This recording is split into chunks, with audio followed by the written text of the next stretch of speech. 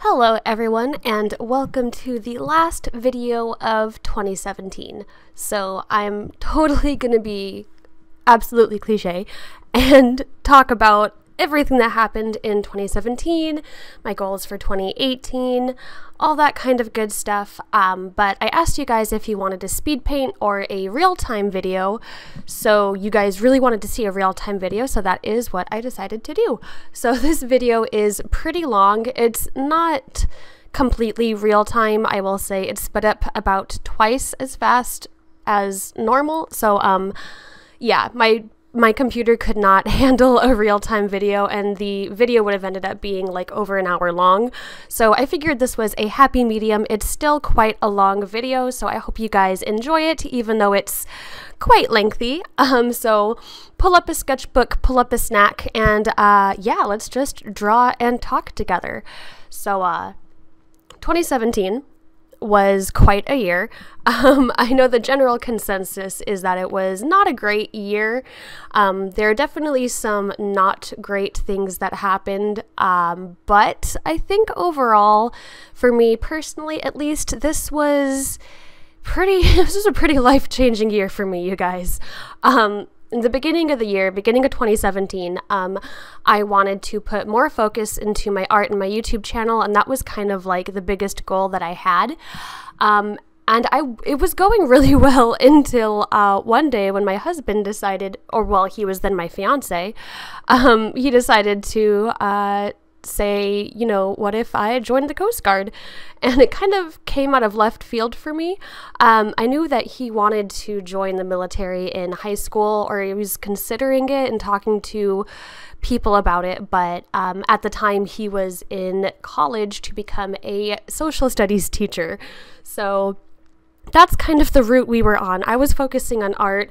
He was in college. Uh, he actually had enough credits to even start substituting. So he was far into college. What noise was that? That was a noise. Never mind that noise, sorry. Um, but he was, yeah, planning on going to college. Or not planning, but he was in college planning to become a teacher. Um, and that's just kind of where our life was at. So him coming up to me one day and asking about the military just kind of threw me for a loop. Um, and we were kind of in limbo for a while because we weren't sure if that's something that we wanted to do. So we talked about it a lot. I read a lot of blogs. I made a lot of lists, a lot of pros and cons lists. Um, and ultimately, uh, he decided to join, and I decided to support him through that, of course. Um, and that kind of started a whole chain of events that really changed my entire life. And I know that sounds really dramatic, but um, it's kind of true. Um, for starters, uh, he had to, you know, go through the recruitment process, which was pretty stressful. Um, because he had to get qualified, then he had to pass medical like qualifications and stuff like that. Um, but he passed through all that and we went through it pretty smoothly actually. It happened pretty fast. Um, and then uh, before we knew it he had a date to be shipped off to boot camp. So uh, yeah that was crazy. Um, so that meant that we had to get married because uh, I sure as heck was not going to stay in Las Vegas while he got shipped out somewhere else for the military. So um, we were engaged at the time, so it's not like we rushed into marriage at all. We had planned on getting married even before this. Um, we were just waiting until he finished college, but uh, that wasn't quite an option anymore. So, luckily, with the help of my amazing family, we were able to have an absolutely beautiful wedding. Um, it was honestly perfect and definitely one of the highlights of my entire life, definitely the highlight of my entire year. Um, it was just everything I wanted it to be and more. Um, I do have the wedding video, so if you guys would be interested in seeing the wedding video, uh, let me know. I was contemplating putting it on this channel, but I wasn't sure if it would fit or if anyone would be interested in it, so um, yeah, let me know.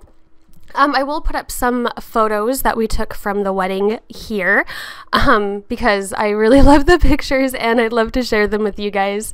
Um, but yeah, it was amazing. I was so just so happy. The venue was absolutely perfect. Um, my family really, really came together and helped me with all the decorations because we had like a month to plan a wedding. Um, so my whole family just really came together and helped me out. And I will just, I always remember not only the wedding and how perfect it was, but just how supportive everyone was and how just how much help I got from my whole family and my of course my husband was so supportive throughout the whole thing and kind of let me do whatever I wanted to do in terms of wedding planning. But it was just absolutely perfect and I got to marry my best friend and now we're married and yeah, it's just it was just perfect. It was so great. Um, but then two weeks after that came the rough part because um, he had to get shipped off to boot camp. Um, him being in boot camp was really, really hard for a few reasons. Um, of course, we were newlyweds, and I didn't want him to leave right after we got married. Um, the second thing, uh, I was extremely sick, and um, I've actually kind of been sick this whole year, which kind of puts a damper on this year. Um, those of you, I'm sure most of you know by now that I have cystic fibrosis. Um, and this year was extremely hard on my health. I have kind of been sick all year. Um, I went to the hospital three or four times this year. I can't exactly remember, um, but I went to the hospital a lot this year, and uh, it's just been hard. I I don't know what exactly it is about this year that just seemed I just can't seem to really get better catch a break. Um, but right after he left for boot camp, literally not even a week later, um, I was in the hospital again and I ended up needing a PICC line. You guys have heard me talk about that. I won't go too much detail into what all that is because I've talked about it before. Um, but basically, I was just really, really sick and I needed a lot of medicine. And it was pretty hard to do that alone. Um, I've always either had my mom to help me or my husband to help me with being sick and just kind of like dealing with all that. And my mom definitely did help me this time too. Like, don't get me wrong, she was amazing and she brought over food and made sure I was okay. But it was just very different because I had to go back home alone and it was just kind of rough um, not only like physically on my health, it was rough because I kind of had to take care of myself. You know, I didn't have anyone there to make me food or make sure I got out of bed and did my medicine. So I really had to be self sufficient, which I've always been pretty good at being self sufficient, but it's much different when you're completely alone and you don't really have anyone to be like, hey i'm tired can you go get me a water from the fridge or something like that i everything i had to do on my own so that was that was kind of rough. Um, and then emotionally, it was extremely hard because whenever I get really sick, uh, my depression kind of flares up. Um, I also deal with depression a lot, which I've talked about on this channel before. Um, but depression kind of comes stronger when I feel really, really sick, especially if I've been in the hospital. It kind of flares up with the rest of my disease. So that's like super fun. It's like a double whammy, which is just like awesome. Um, but anyway, uh, it was really hard to deal with that also while being alone. Um, and like I said, I had amazing friends. My family was amazing, but it's just a little different when you know, you're just kind of alone with your thoughts for most of the day. So that was really, really hard to deal with alone. And I've kind of been battling depression more so this year too, just because I've been so sick. Um, so it's been kind of hard to deal with all of that as well. Um, so the two months when uh, my husband was in boot camp was just really difficult. Um, but anyway, I got through it, of course. Uh, Just a big complainer, really. Um, so he came home passing boot camp. It was amazing to see him again. It was kind of funny because he looked and sounded so different. Like the first time he called me on the phone while he was still in boot camp, I did not recognize his voice. Um, and that's because they yell so much in boot camp. Like they're constantly yelling, they do not have inside voices. So he comes home and his head is shaved and his voice sounds so rough, like he's been gargling with rocks. So it was so weird to see him like that. He kind of looked like he just escaped from prison or something. And then it was so fun just him telling me like all the stories about boot camp. It's not it doesn't sound fun by any means, but he like talks about it in this way that's like almost nostalgic. So I, I don't know. He didn't have fun there, but he talks about it like he did.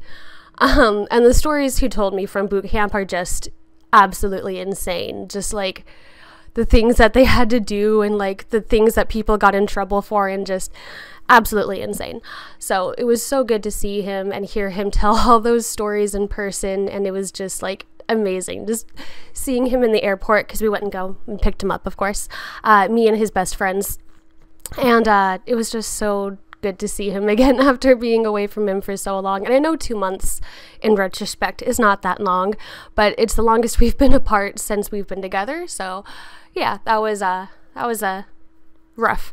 Um but he came home. It was great. Uh we were home for about four, five days, I think, which was just enough time to see everyone. Uh, and then we had to move across the whole country we used to live in Las Vegas, and uh, my husband joined the Coast Guard. And there's no coast in Las Vegas, so we had to move somewhere with the coast. And uh, one of the reasons why we decided that he was going to join the military um, was for the travel uh, that was a huge selling point for us because we've always wanted to travel. And whenever we go on vacations, we like to travel somewhere new. So we thought this would be a really good opportunity for us to see a whole bunch of new places and really basically, you know, just kind of not have to pay a whole lot of money to see a lot of new places because we just move. Um, and another reason we decided to join the military was uh, because of the amazing benefits, because uh, cystic fibrosis is not a cheap disease, and without insurance, my medicine costs about $30,000 a month. And uh, you know how I said I went to the hospital three or four times this year? Um, it's about three hundred to six hundred thousand dollars per hospital visit. So uh, the military was looking pretty good. Um, so yeah, we. What was I saying? Yeah, we moved. Sorry, I'm totally lost in my thoughts. It's, you know, it's New Year, so I'm in that kind of nostalgic, kind of reflective mood anyway. So we packed up everything that we had and we moved across the whole country because uh, my husband got stationed in Boston, Massachusetts. So we moved from Las Vegas, Nevada to Boston, Massachusetts and we road tripped the whole thing because uh, we have a little dog and I did not want to try to take the dog in an airplane. So we were just like, oh, we'll just we'll drive. Plus, we had a car. We don't. We, how do you even take a car across country if you don't drive it? So we did a road trip, cross country road trip. It was quite an experience. Um, it was really fun, actually. Um, I was kind of worried that we'd kind of get sick of each other or be at each other's throats. Um, just because, you know, being with one person in a car is like, that's rough for anybody. Um, but it turned out to actually be really fun and a really enjoyable experience. Um, we were traveling, like I said, with our dog. I bought my dog a doggy car seat, and it was one of the best things I decided to do. If you're ever traveling long distances in a car with a dog, highly recommend a doggy car seat because it was just a lifesaver. So we would drive about eight hours a day, and then we'd find a hotel at whatever city we ended up in, and we would just stay the night, and then we'd get up and do it all over again. And it was really fun. It was enjoyable. Um, we listened to uh, Lord of the Rings on audio tape, which was great because I'd never actually read the books. By the way, fantastic. The uh, narrator was amazing, fantastic, and there's so much more that happens in the book. I know everyone says that, but honestly, the Lord of the Rings movies are already like three hours long, but they could easily be nine hours long per book, just saying. Anyway, moving on. So eventually we got to Boston. Boston is a beautiful city, by the way, very cool, very different from Las Vegas. We passed through some of the most beautiful, like, forests and fields and stuff, and Las Vegas is a huge desert, so it was really interesting to see just all that vegetation and stuff, um, especially because we moved in the fall. So I actually got to see like all of the fall colors and the seasons changing and like the orange and yellow leaves. It was it was absolutely beautiful. Some of the most beautiful things I've ever seen on that road trip. Um, so anyway, we eventually get into Boston. We stayed at a hotel for a while and then at an Airbnb for a while because we couldn't quite find a place to live. And eventually we found a place in Salem. Yes, like the Salem, Massachusetts, like the witch trials, Salem, Massachusetts. That is where we live right now. Um, and that's pretty much just what we've been doing. Um, I got sick again right after we moved, which has been a huge bummer because I haven't really gotten a chance to explore the new place that I live in. I've only been into Boston a few times, um, and I haven't really seen all the cool things there is to do in Salem because I've just been so sick. But that being said, I think I'm finally on the mend. I found a new doctor here in Salem, um, which was very important to me because I need a really good you know, doctor system. I found a new CF specialist. Everything seems to really be on the up and up. Um, I've been on antibiotics for a little while now, and I'm actually feeling pretty good and like I have energy again. Um, the only thing right now is that now it's so cold outside. Like, I've never experienced cold like this before, guys. Like I said, I'm from the desert. There's snow on the ground. Like, like I can look outside my window and there is snow. That is bananas to me. Um, so I guess now I'm just kind of dealing with acclimating to this crazy weather. Um, but all in all, 2017 was an absolutely wild year. Um, art definitely took a back burner to everything else, which I think is kind of understandable considering what's been going on. Um, I've been trying my best to keep up with YouTube and making content, but you know sometimes it it just it just can't happen. Um, I think uh, you know everything else is kind of more important right now, at least. Everything that I've been doing, what with my husband joining the military, getting married, all my sickness and stuff. Um, but now life is just kind of chill. Like I'm in this new place. Um, I don't really have much going on, and uh, I can really throw myself into my work now, which I'm really excited about. Um, thankfully, because of the job my husband has now, I don't have to have a traditional job, which if I wasn't sick, I would be working a traditional job. But because I am so sick, um, that's something that's just not feasible for me.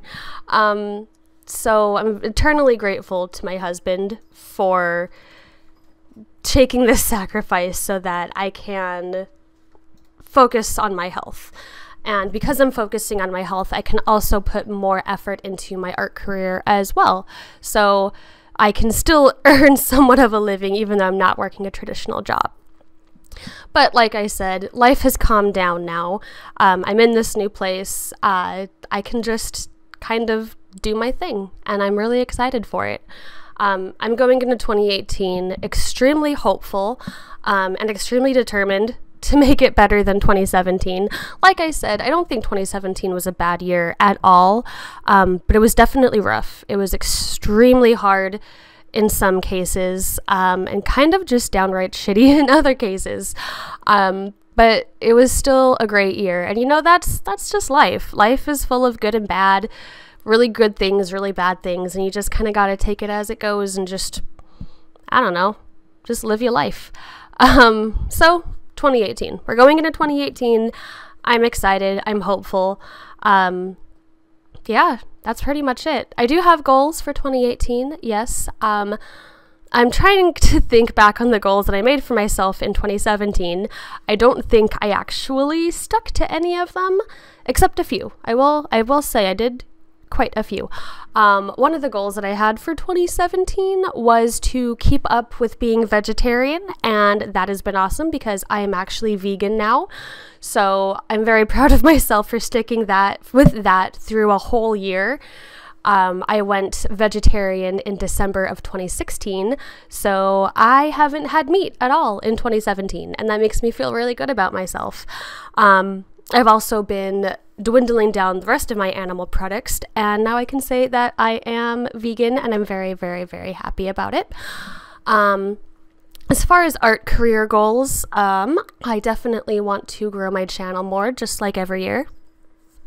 I want to put a lot of focus on improving my art as a whole. Um, especially these last couple months or so, I've been feeling very inadequate about my work, and I really just want to get better. Um, like my technical skills. Like, I'm happy with the way my art is progressing and what I'm doing with it and the stories that I'm telling with it, but I really, really want to just get better at it. I want to be able to express what I want to express in a better way. So, I want to improve my technical skills a lot. And by doing that, I plan to go back to the very, very, very beginning and kind of reteach myself the fundamentals of art um, because that's something that I feel I kind of, you know, when I was younger, I was kind of like, oh, I don't need to learn that. That's boring. That's just boring art stuff. Um, and I've realized that's really detrimental to me as an artist because there's a lot of things that I feel like I should know that I just haven't grasped yet. So I plan to go back and kind of just teach myself the fundamentals from the beginning as if I was a total noob at art. Um, so I'm going to be really kind of focusing on that and kind of going from there. Um, there's some things especially I want to work on, like value. I feel like my value is lacking extremely, and my form and shapes are just kind of they're just not there. And then of course the usual things like anatomy, hands, bodies, you know, stuff like that that I'm just not confident in.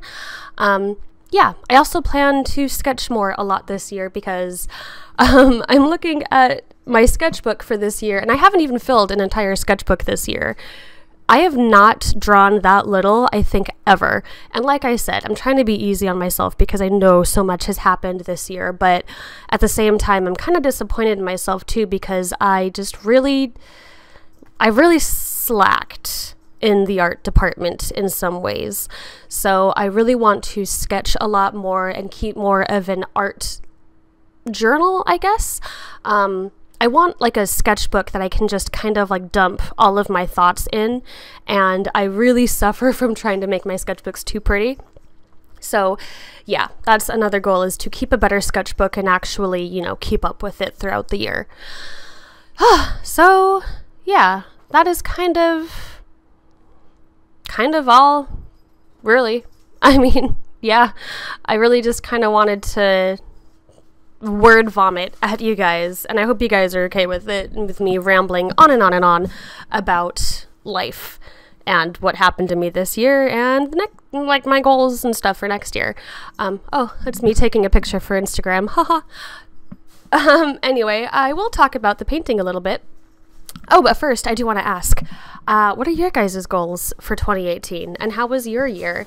Like I said, I know a lot of people have been saying that 2017 was really rough, and um, I can totally understand that. Like, it's been rough for me too. Like, aside of the personal things in my life, just like what's happening in the rest of the world really gets me down sometimes. And like my hometown had a really horrible tragedy this year, which is affecting a lot of my friends and family and kind of just like, I don't know. It just feels like sometimes the world is a dark place. Um, and I hate feeling like that because I really try my best to be optimistic. Um, but yeah, sometimes it kind of seems really bleak. But you know, a lot of good things did happen this year too. Um, whenever there's dark, there is the light. Also, uh, I'm going to get really cheesy right here. And I think my recording cut out. So, anyway, I was rambling about, I think, some stuff. Um, but anyway, uh, yeah, what are your guys' goals for 2018? How was your year? Talk to me in the comments. Let me know what's going on. Um, and then yeah, I still have uh, about 15 minutes left in this video to ramble at you guys. So, um, I thought I would answer some questions that you guys have for me. So, um, I'm just gonna get right into them, do a little mini Q&A. Um, I do plan on doing a bigger Q&A too, so if you guys have any questions for that, definitely leave them below. Um, but yeah, um, let's see. Uh, what is the thing that you struggle the most with art? Um, for me personally, I struggle. I, I struggled technically. Like my technical skills, the things I struggle with most are, of course, bodies and hands. Um, but I think the thing that I struggle more so with is the feeling of inadequacy. Um, I often feel like I'm not good enough or that I'm not improving fast enough compared to other people, which is probably like the worst thing you can do. And I hate that I feel this way, and I honestly try to tell other people to not feel this way, um, but it's something that I really, really struggle with. So, um, yeah, that's something I'm also trying to improve on myself, though. Um, another question is what made you decide to start posting videos on YouTube?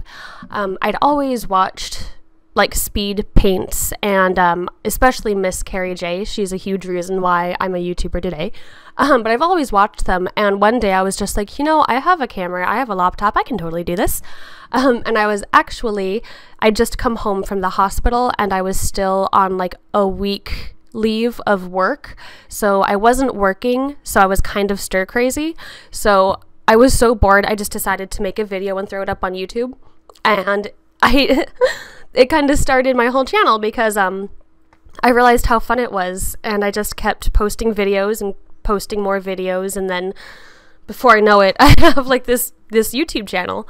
Um, but yeah, so if anyone is out there, you know, trying to decide if they should post videos on YouTube, uh, definitely go for it because I started just making silly videos with copyrighted music in them, and here I am. Uh, another question uh, What are your music interests? So I love like almost all kinds of music. Um, I can pretty much find anything from any genre that I'm interested in. So I'm just going to name off a few of my favorite bands. Um, my favorite band of all time is 21 Pilots. That is also tied for first place with Paramore. Those are my two top favorite bands of all time. Um, I've also been super into First Aid Kit recently. Love that band. Curly is another good one. Um, let's see. I love Lorde. I love Marina and the Diamonds. I love the Limousines. Um, the Smiths are really good. Uh, Two Door Cinema Club. Um, I love Flyleaf. I know that's kind of out there, but Flyleaf is like one of those nostalgic bands that I like. I still rock to. Um, yeah, I know I'm forgetting a lot, but honestly, I just love a lot of everything. Oh, of Monsters and Men too. That is another fave. Um, okay, let's see.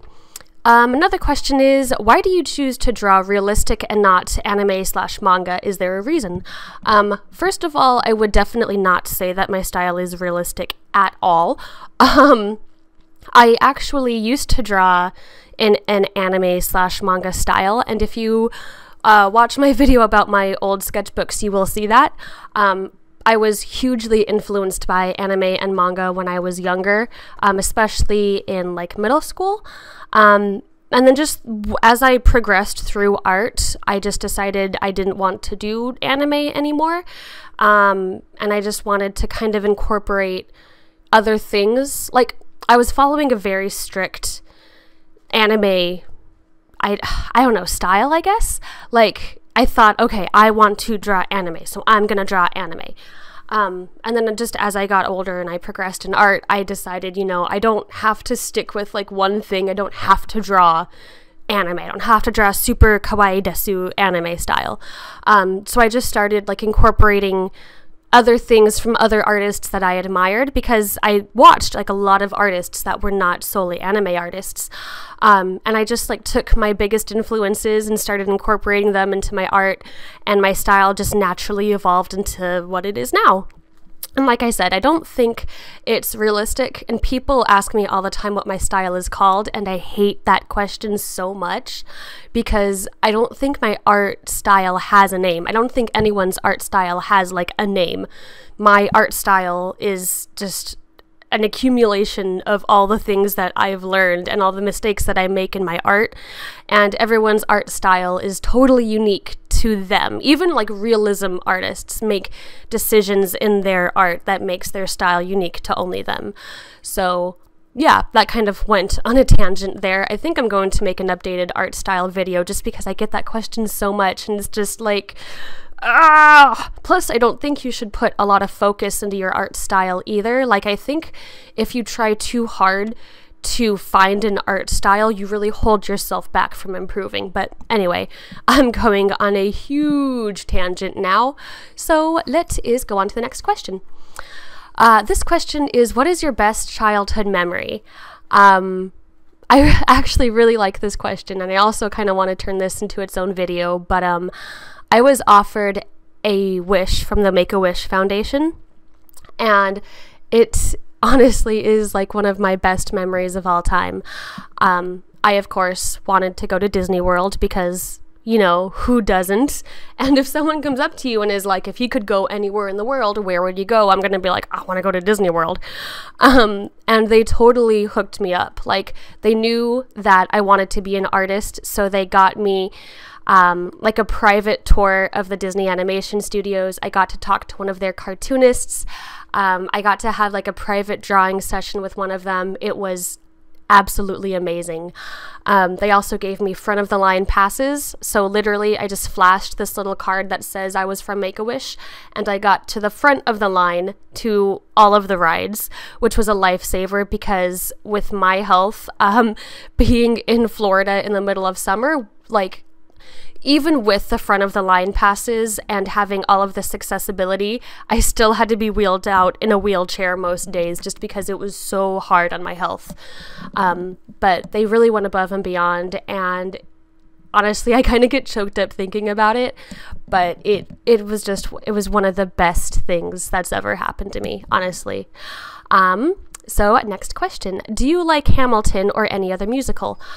Um, I unfortunately have not been able to see Hamilton. I've heard amazing things. Um, I do plan on seeing it, hopefully very soon. Um, but I do love musicals. I, I mean, yeah, I love musicals. Um, it's really hard for me to pick a favorite.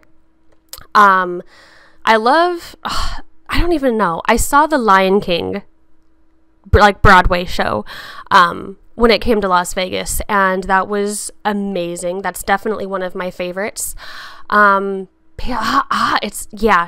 I, I, I like musicals. Um, I like musical movies too. Like any movie that has musical aspects to it, just oh, it's my jam. Uh, one of my favorites is Sweeney Todd. I know, kind of cliche, but I I love Sweeney Todd. I love Tim Burton, and um, I'm forgetting his name. Oh my gosh, the composer. The composer works with Tim Burton a lot. Danny Elfman. Ha ha ha ha ha.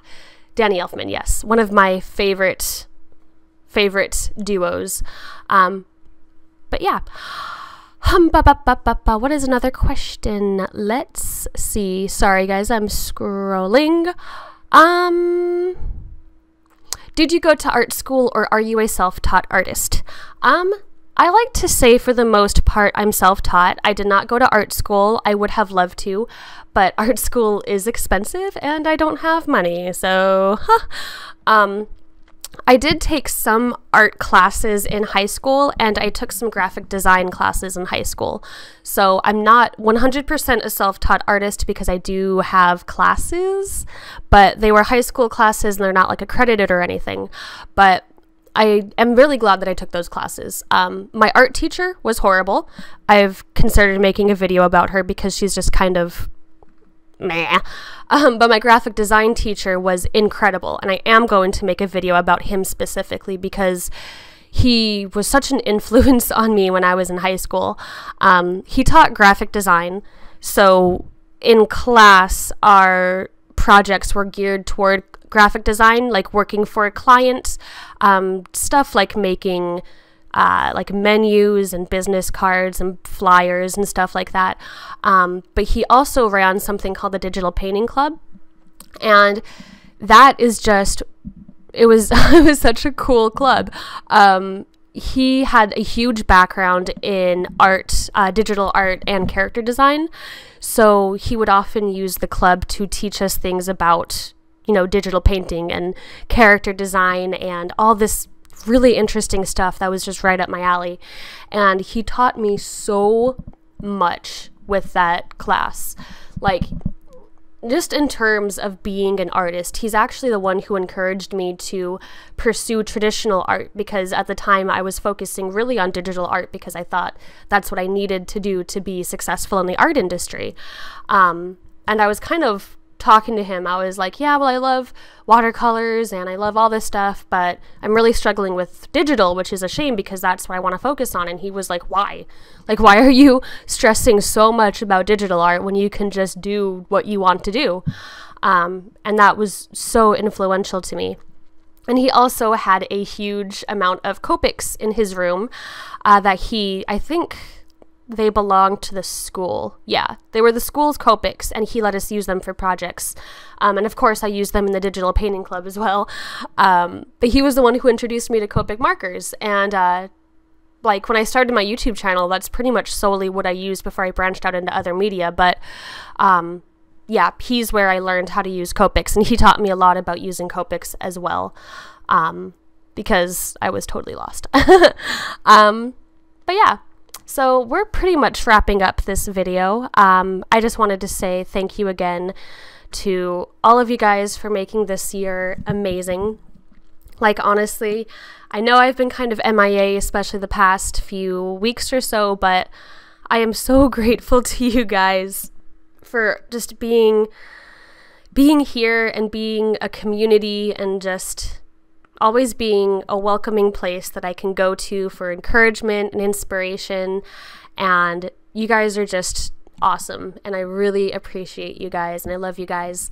And I hope you are having a good New Year's Eve. I believe it's New Year's Eve when this video is going out. Uh, forgive me if it's not.